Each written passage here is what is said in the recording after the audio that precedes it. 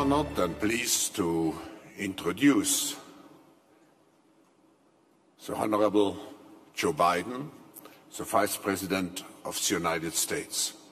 I'm so pleased to see you back here in Davos because I remember before you assumed your position as Vice President of the United States, you came here as a senator, you came here as the chairman of the Foreign uh, Relations Committee of the Senate, and I have to say, in my memory, you were one of the most engaged and hardest working participants here at the annual meeting. I, I watched you uh, in the morning up to midnight sometimes, one engagement after the other one. Of course, we welcome you now as the Vice President of the United States, as someone who has shown leadership, as someone who has had a privileged position to observe and to shape our global destiny. So we are very eager to hear from you. Um, the fourth industrial revolution has one big challenge. It is the holding out of the middle class, which is a pillar of our democracies. So without further ado, please give a big hand to the Vice President of the United States, Joe Biden. Thank you.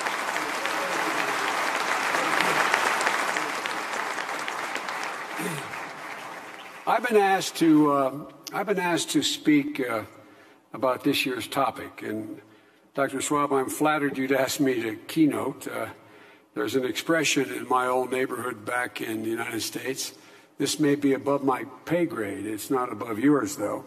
You've written extensively on the topic that you've asked me to speak to mastering the fourth industrial revolution.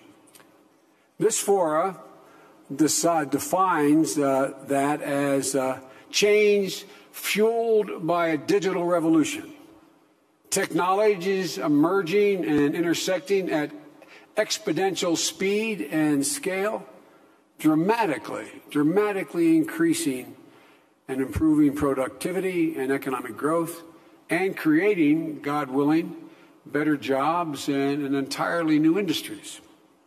But there are two questions, it seems to me, that we have to address forthrightly at the outset. First, will this revolution actually transform the global economy? And secondly, if it does, will it be for the better or for worse for humanity as a whole?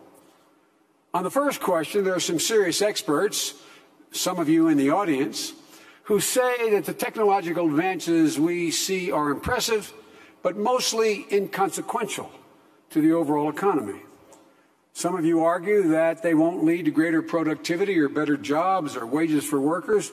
For developed countries, the argument goes a sluggish economic growth will be the new normal and so get used to it.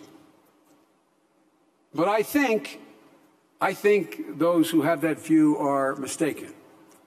I think we're already seeing how digital advances are not only impressive, but also consequential. We're on the cusp of many new and anticipated breakthroughs enabled by enormous advances in computing power, big data sharing in real time, a billion billion calculations per second. On the second question, I believe on balance, these transformations are changes for the good for average people around the world. They bring exciting new choices to consumers, new kinds of jobs, hopefully, hopefully, that are good paying for workers. Market, uh, market makes uh, services more affordable astounding breakthroughs in science that are going to save lives and physical sciences will unleash entire new industries. My guess is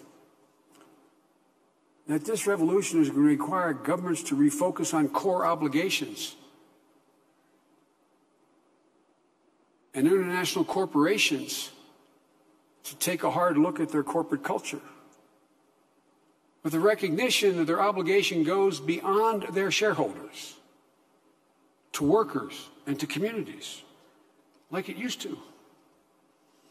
In my country, there's been an emergence about six, uh, eight years ago of a phrase, job creators. The job creators today are thought, many in my country, as the stockholders. What about the woman on the assembly line making the product? What about the salesperson who sells the automobile or the refrigerator or the product made? What about all those people in the chain? They used to be job creators and viewed that way. There used to be, Mr. President, a sense of obligation to communities. It's not that corporate America or international corporations are bad. They're not. Things have changed. Short termism is the order of the day. As I said, I know, like many of you assembled here, a significant number of presidents of the Fortune 500 companies. I remember standing on a platform taking the train from my home constituency in Wilmington, Delaware in 2008, and the chairman of the board of one of the major corporations in America on the platform going to New York. But I said, How are you, John? He said, Fine. I said, Where are you going? He said, I'm going to New York. I'm going to meet with some sniveling little guy on Wall Street who's going to tell me that I have to increase profitability in the next quarter or I will be downgraded. So it's going to require me to make, and he then started naming short term decisions that were not in the interest of the long term interest of his company. Now, a lot of you corporate leaders don't like me saying that, but you know it's true. It's not the sole problem, it may not even be the major problem. I'm going to be somewhat presumptuous. And I think there are at least five guideposts, five things we should be preparing to do now. Follow through on to take control of this revolution. There are many more that I'm going to name, I expect, and some of you may have better ideas. But in order to expand middle class opportunities for workers, I think it's going to require governments, corporations, and civil societies to make some of these changes. First, there is a need worldwide for an increase in access to affordable education and job training. It is more needed today than ever in our history. Cognitive capability as opposed to brawn is the means by which you can climb that ladder into the middle class. When I say education, I'm talking about education that is early, lifelong, affordable, and accessible. Today's economy, there's going to be a constant requirement for workers to retool, retrain, for even for the very jobs they possess. Because the technology that they're engaged with is moving far beyond the ability to keep up with whatever the basic education they have is. The jobs they possess, particularly in areas of IT, advanced manufacturing, healthcare, energy, are going to need lifelong education. Secondly, we need to continue to ensure basic protection for workers as these changes take place. I mean, a living wage, payment of overtime, child care, sick leave, the right to unionize, to collectively bargain. Governments have, in my view, an obligation to strengthen these core protections, but so do companies. I don't have to tell anyone in this room that over the last few decades, there's been a real change in the culture. A lot of you have written and spoken about short termism that undermine the long term growth of companies and stifle workers. Another change in the corporate culture that's happened over the last two decades, for example, a study done by, published in the Harvard Business Journal about eight months ago by distinguished professor pointed out in the last few decades, the last decade, 449 companies in the S&P 500 over a 10 year period from 2003 to 2012 made $2.4 trillion in profit. That's good, obviously. But it was different than what happened 20 years ago. The difference is the way they invested that profit. 54% of you bought back your own stock. 37%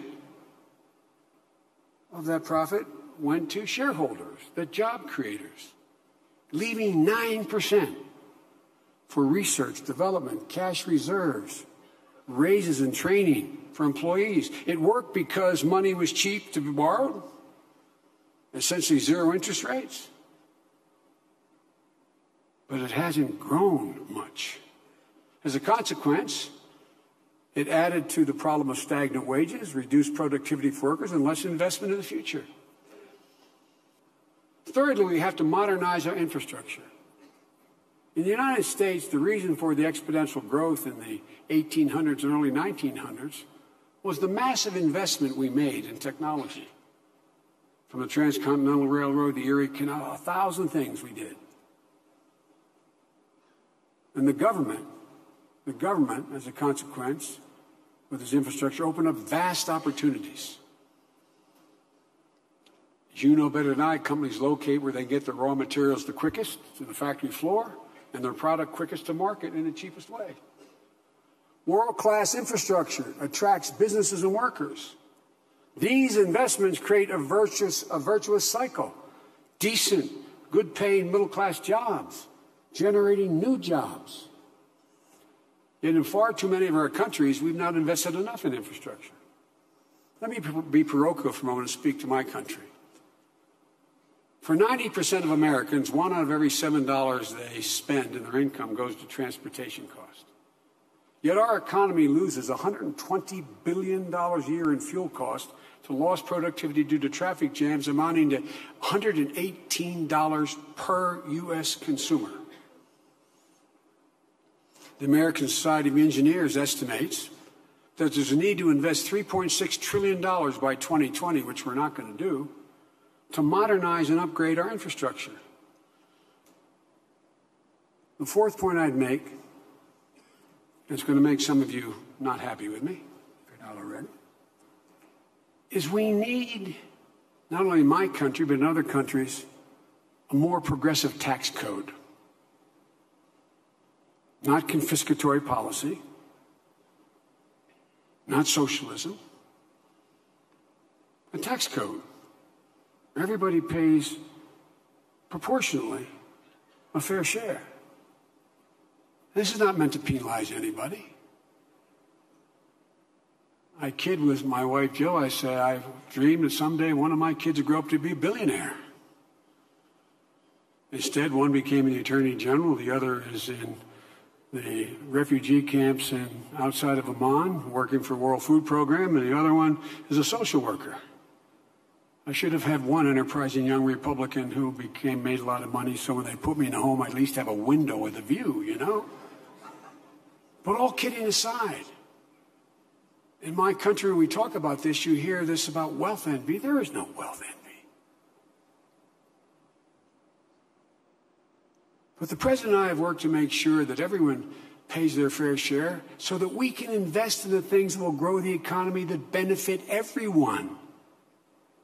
Lastly, we need to expand access to capital.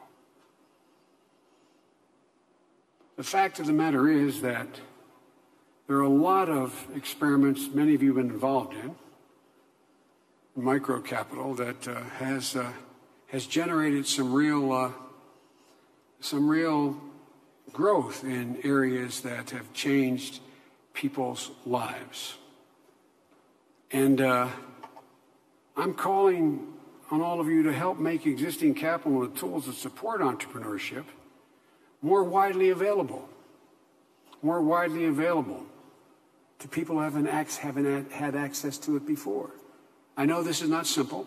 I know it's a complicated subject, warrant a full day discussion. But we've got to figure out how to make more capital available. Folks, in a strange sense, it's really all not that complicated.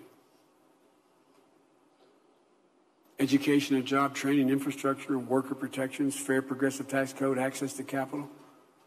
The President and I have uh, been laser focused on each, each of these issues because we know they're among the surest pathways of the middle class in advanced economies and to generate advanced economies. They've been the foundation of our road from economic crisis to recovery to hopefully permanent resurgence. For developing nations, they're part of other critical factors in building strong economies and societies like protecting basic liberties to think and speak freely, upholding the rule of law, ensuring access to health care. One of the best quotes of Steve Jobs ever when asked, What can I do to be more like you, Mr. Jobs, at Stanford University, a student asked. He looked down and he said, Think different. You can only think different where you can breathe free. I think we have to get back to more of the basics. No fundamental radical change, but get back to some of the basics. And, ladies and gentlemen, the unraveling of the middle class is not only uh, threatens our share of economic growth, but I would argue it threatens our shared global security. I'll conclude with this point. Thank you all for indulging me. I appreciate it very much.